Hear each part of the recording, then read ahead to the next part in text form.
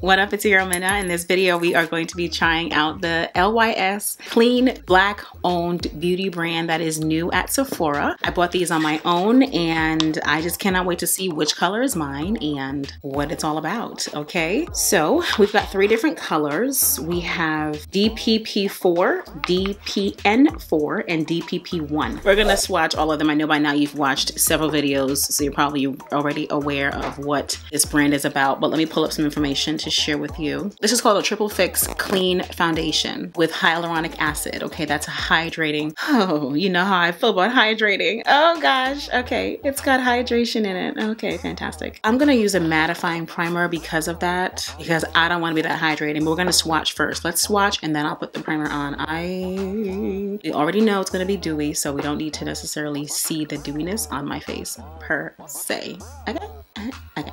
It's a skincare infused serum with buildable light to medium coverage in an array of shades. It says the finish is natural. It's got ashwagandha, it's a powerful herb that combats skin stress and visible aging signs. Wow. Turmeric, which provides antioxidant protection, visibly brightens and even and soothes skin, and hyaluronic acid for intensive hydration. Clean at Sephora. Here we have DPP1. I like how it has a pump. Ooh, oh no. Oh, it looks so dark on my finger. Okay, I think DPP1 is is my color. Oh yeah, that has to be my color. Okay, but I'm gonna show you the others just in case. I did the shade match and I got a few just to be sure. This is DPP4 and I didn't get the primer because I saw how Andrea Renee was struggling with it. I ain't doing it. I just ain't gonna do it, you know? Ooh, this is a nice red, deep foundation. Obviously not my color. That is DPP4. And then this is DPN4. Ooh, yeah, this is neutral. So DPN4 goes before DPP4 for sure. DPN4 is obviously lighter. It is neutral. It is not my shade color at all. I'm obviously gonna match better with DPP1. Hello. I think it's awesome that Tisha used to be a makeup artist. I think she, yeah, she worked at MAC and she also worked for another brand I can't recall. And now she's got her brand in Sephora. That's awesome. That just goes to show that any of us with hard work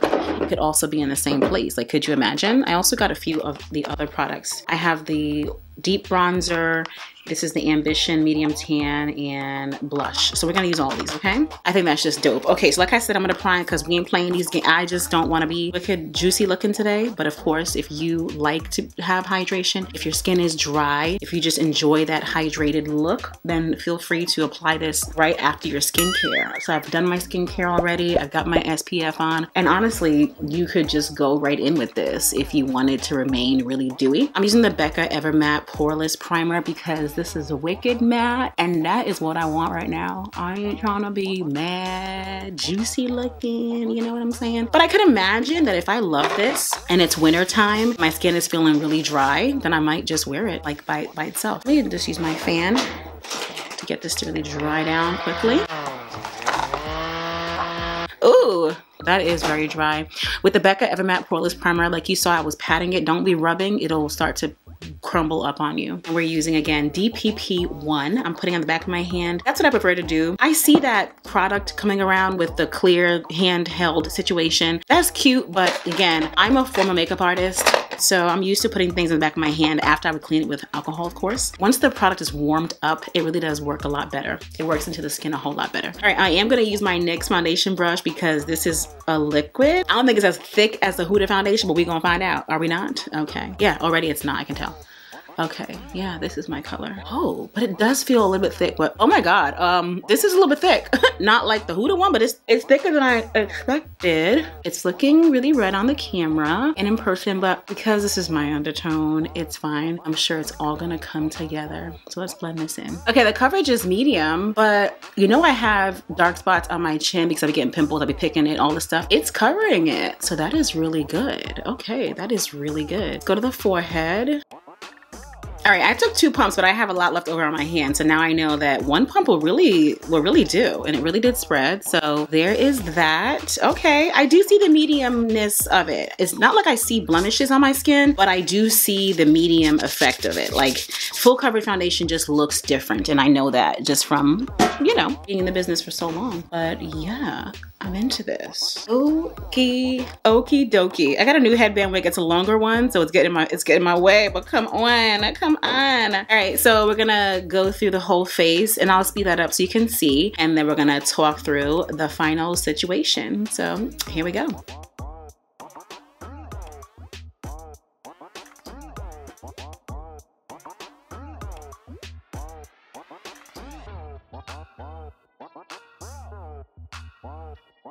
Alrighty, now we're at the part where we're going to set the highlighted areas. I use the Morphe Concealer in C4.35 and the Huda Beauty Lava Cake Stick Foundation. I'll link everything below as usual. Now we're going to use this. I hope that this is not going to be too crazy. so let me fix the under eye. Make sure there's no creasing and also just go back here so that there's no harsh line. I'm going to leave the harsh line next to my nose. Okay, I'm doing this to avoid creasing, okay?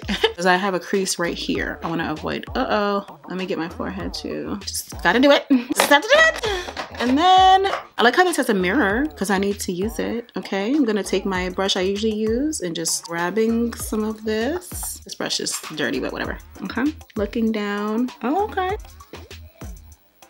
Yeah, it's not too much. It's like just enough. I was worried that it would be too light, but Tisha, you know what we need. She know what the girls need now. Come on. Let me do this side. Hold on a minute.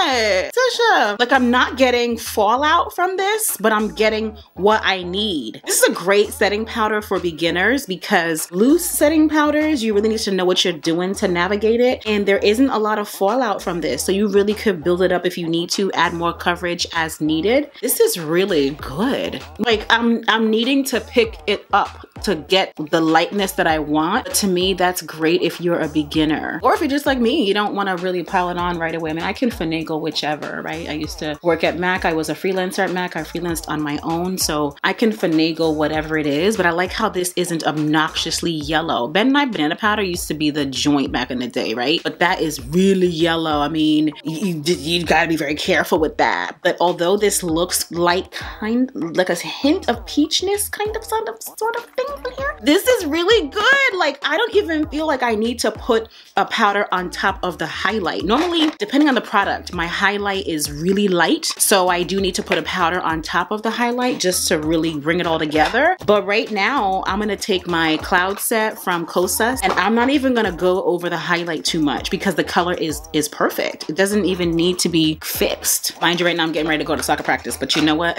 I needed to get this review in, you know what I'm saying? So this first impressions in. Right, this is Cloud Set Silky, okay? And I'm taking my big old Complex Culture brush and I don't feel like I need to go over the under eye too much except to make sure that there are no harsh lines. Fantastic. Wow, this looks good. No, this looks good. No, this looks good. Wow, come on, Tisha. Come on, girl. You know what we you know what we need. You know what we need. Now this is No Limits matte bronzer in the color Worthy Deep. Wow, wait a minute. Are there motivational words on here? Ambition, worthy. Hold on a second. Did I miss that? This is confident. Wow. Is she a woman of God? I mean, this is great. Worthy. I am worthy. Come on. Now this is dark. This is great and dark. So for my skin tone, I need to go a little bit easy on this. I wonder how much it's gonna pick up. Oh, this is deep. Ooh. You know what? I'm gonna use this as an eyeshadow. Wow, yeah, this is deep. Okay, this is deep in a good way, okay? So for me, I gotta go a little easy, you know, because wow, wowzers, y'all.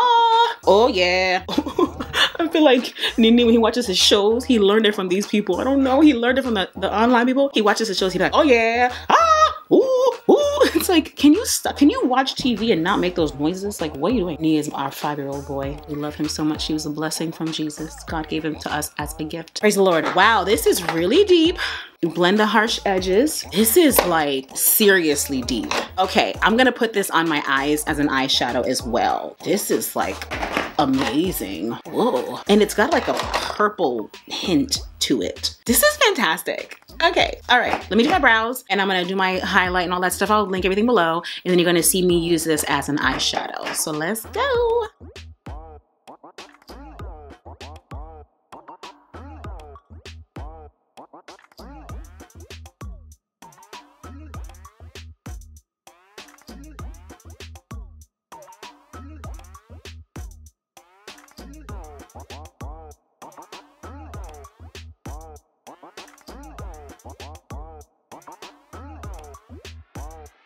Okay, and then the last thing from the brand that I picked up is this Higher Standard Satin Matte Cream Blush in the color Confident. I love it. I just love these names. There were two that I wasn't sure about, so I got this one. And the again, I'll leave the highlight information down below. I'm gonna use the back of my sponge, which does have product on it, but that's okay. And just pouncing this in. Just giving me e.l.f. vibes. Ooh, can you see this? Mm, maybe I should have gotten the other one. You can see it on the camera. It's not as... Mm, no, the blush is not gonna work for me. No, no. The color isn't for me. It's too light. Yeah, this color is too light. I'm gonna stop right there and I'm gonna just put on my, where's that? Where she at my old faithful that I've been using for the longest time these days. You might think it's beautiful. Comment below if you like this. I didn't put that much on it. It's very light and I don't like light blushes. It has to it has to vibe. It has to kind of be a little bit dark and then light on top. You get it. So I'm gonna use Always Spicy from e.l.f. Cosmetics. This one will be a little more, more pronounced. It kind of looks like that one a little bit. You know, you see? It's just a little bit more pronounced. The other one was just too light for me. Okay. It just looks a little strange because my face is looking very it's my face is very hydrated so the whole look is just different for me. Lashes are linked below as well. Let me put some bottom mascara on. You know I use Superhero It Cosmetics on the bottom. This one's really old and I find that the older it is the more clumpy it is the more it really just packs on the lash. Do you find that? Like when your eye mascara is old there's been air coming in and out of it it just is clumpy and it just works. Sometimes when the mascara mascara is too brand new. It's too thin and it just doesn't thicken the lashes like I would want it to. Okay, so now there's all of that and then my lip. Just because it's right in front of me, we're gonna go with Old Faithful. It's been for the longest time now. The Lip Bar Savage. Ooh, it's getting a little dark. Just get that to dry a lot faster. Let's go with Fenty Up to No Good.